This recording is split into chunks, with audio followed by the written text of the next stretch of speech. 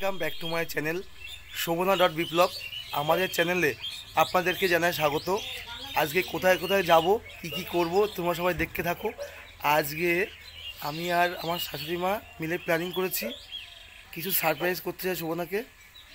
তোমরা দেখতে থাকো।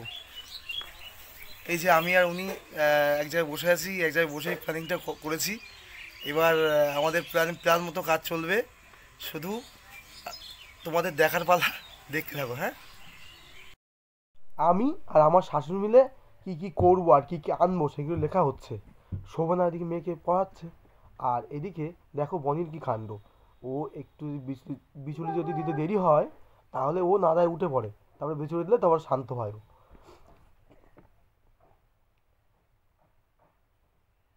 এই দেখো কী অবস্থা, দেখো বনির। তারপর আমি পাশের গ্রাম থেকে বাজার করে নিয়ে এলাম। যাতে একটু তাড়াতাড়ি করে হয়। কারণ প্ল্যান করতে প্রচুর দেরি হয়ে গেছে। এদিকে যা যা এনেছি, সেগুলি মা বার করছে।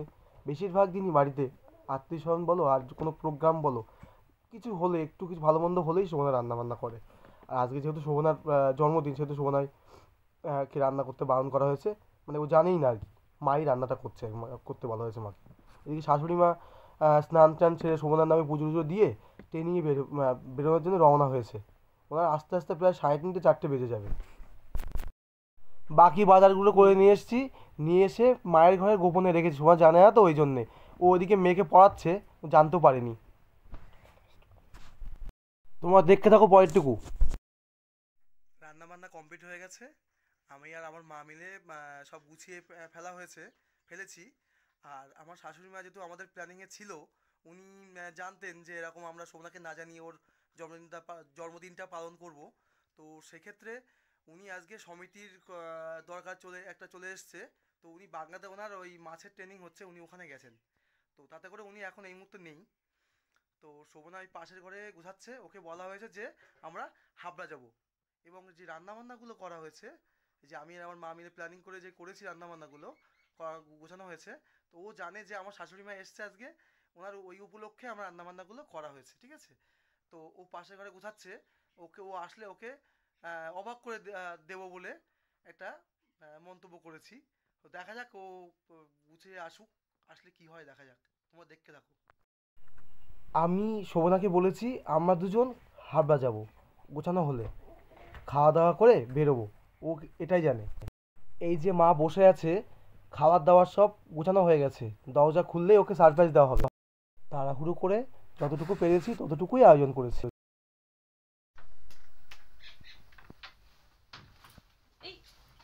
ভিডিও করছ কেন? একটা স্পেশাল ব্যাপার আছে। তো তুমি ঘরে ঢুকলে বুঝতে পারবে। মানে এসো ঘরে এসো। অদ্ভুত তো হঠাৎ করে ভিডিও করছে। দেখো আসলে। একটু আগে বলছিলে তাড়াতাড়ি গুছিয়ে নাও তাড়াতাড়ি গুছিয়ে নাও দেরি হ্যাঁ। হয়ে যাচ্ছে হাবড়া যাব।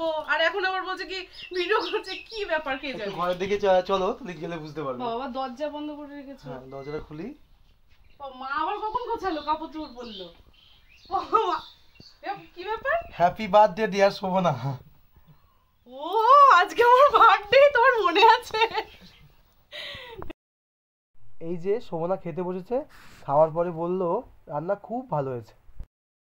খাওয়া দাওয়ার পরে আমরা সবাই একটু বিশ্রাম করে সমস্ত কাজকর্ম গুছিয়ে রাত্রের কেক কাটার আয়োজন চলছে।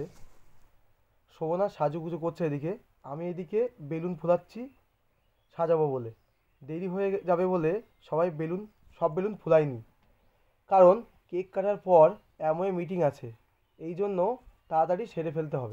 বার দিন আয়ে বার বার দিল গায়ে বার দিন আয়ে বার বার দিল গায়ে। তুঝিয়ে হাজারো সাল ये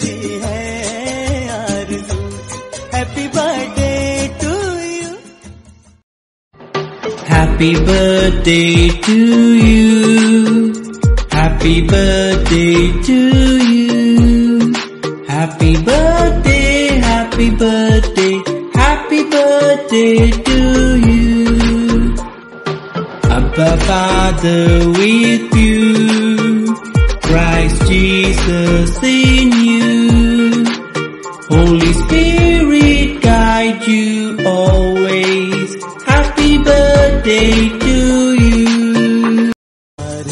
बार दिन ये आए बार बार दिल ये गाए बार बार दिन ये आए बार बार दिल ये गाए, तू जिए हज़ारों साल, ये मेरी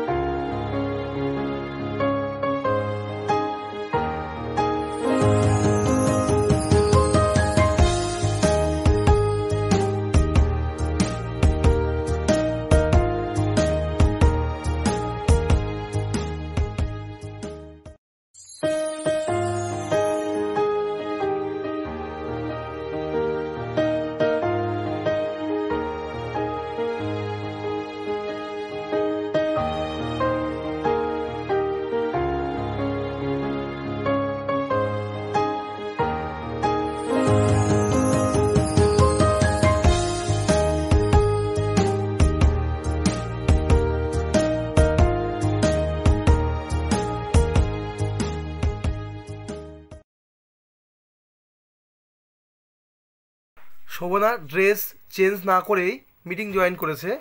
আর আমি আমি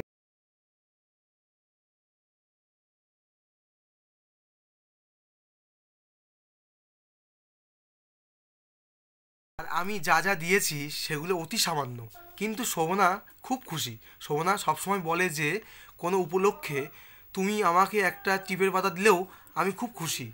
তবে সেটা হতে হবে অফুরন্ত ভালোবাসায় জড়ানো। আজকের ব্লগটা এই পর্যন্তই। তোমরা অবশ্যই কমেন্ট বক্সে কমেন্ট করে জানিও ভিডিওটি কেমন লাগল এবং শেয়ার করো। অবশ্যই লাইক করো একটা এবং চ্যানেলটিকে সাবস্ক্রাইব করে বেল আইকনটি টিপে দিও অল করে দিও এবং অবশ্যই আমাদের পাশে থেকো। Good night